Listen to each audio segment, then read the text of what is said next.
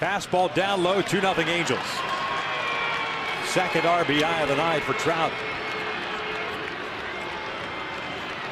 We brought it up on the pregame show a little bit with Jose. As far as the Angels offense is concerned,